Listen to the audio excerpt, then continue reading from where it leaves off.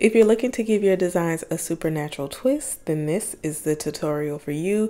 Join me as I take you through the step-by-step -step process of making a ghost text effect in Photoshop.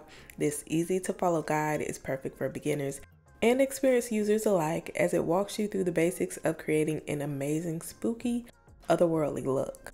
Watch now and see how it's done, but before we get started, make sure you click that like button and subscribe.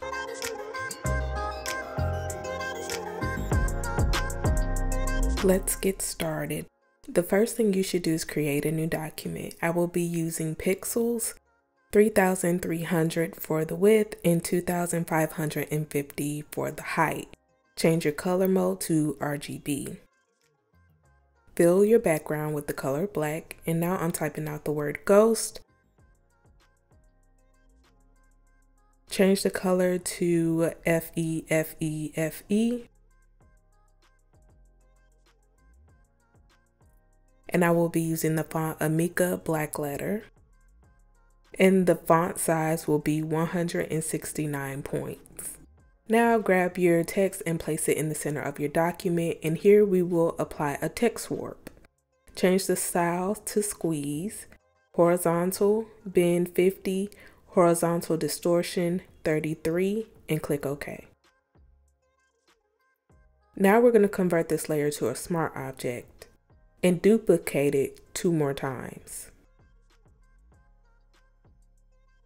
Now on the very first letter, we will apply a Gaussian blur. Change the radius to 7.2 pixels. Now we're going to apply a motion blur.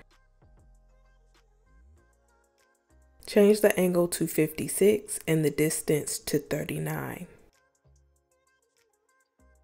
Now we're going to apply a liquify filter so here just grab a soft brush and I'm going to extend certain parts of the word because we want to give this a very wispy effect.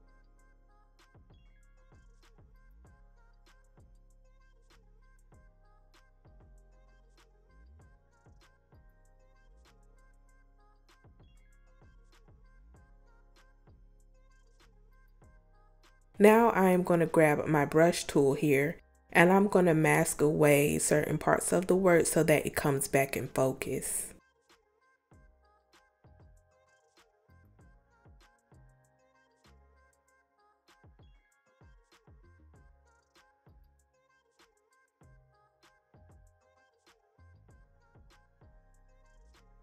Apply an outer glow.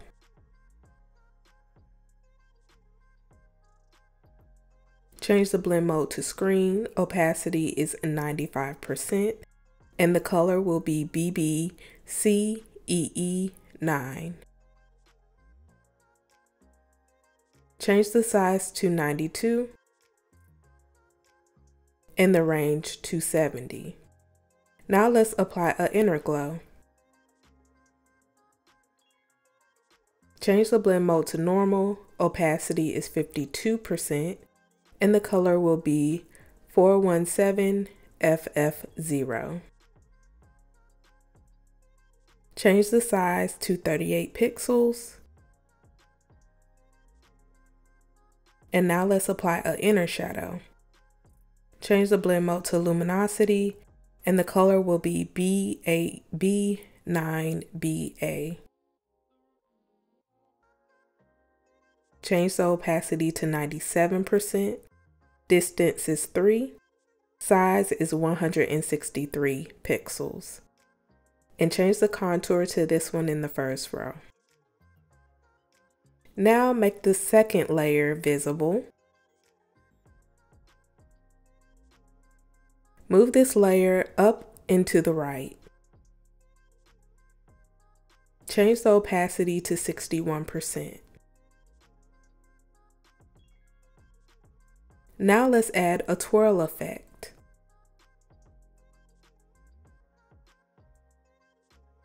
Change the angle to 50 degrees and click OK.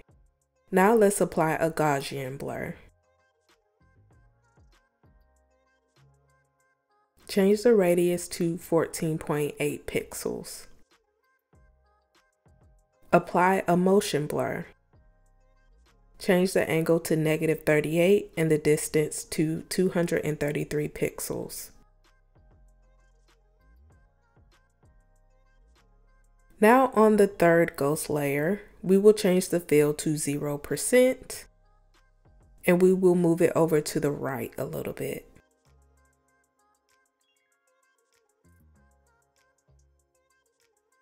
Now let's add a box blur. Change the radius to 35 pixels. Apply a Gaussian blur and change the radius to 21.9 pixels.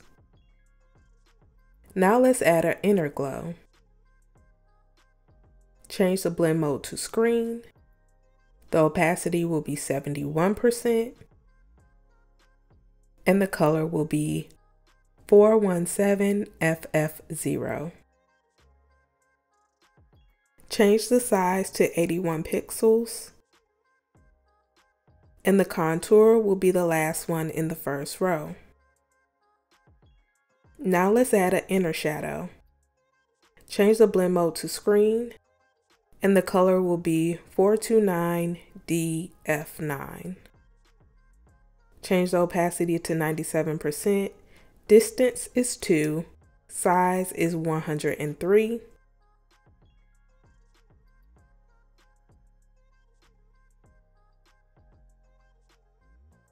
Now we're going to add a puppet warp. Go to edit, puppet warp, and here I am selecting several areas around the edge of my text. And here I'm pulling it downward to extend that ghostly text effect.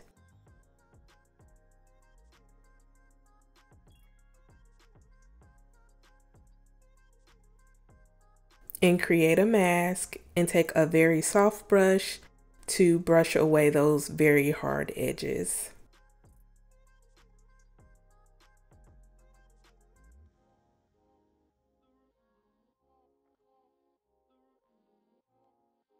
You could also use the liquify filter for this part as well,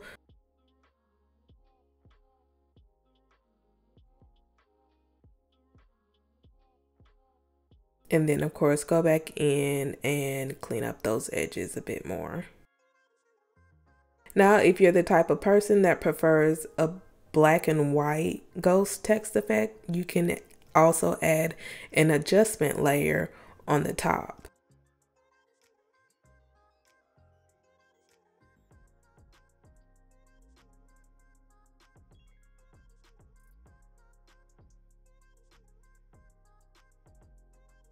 And also don't forget to play around with the opacity and the placement of your text so you can get it to your liking. And that is how you make a ghost text effect in Photoshop. If you like what you saw today, make sure you click that like button and subscribe if you haven't already. And I'm also the owner of a streetwear brand called Threaded South. I have some new things dropping soon. So you can always check back to my website at threadedsouth.com. Thanks for watching.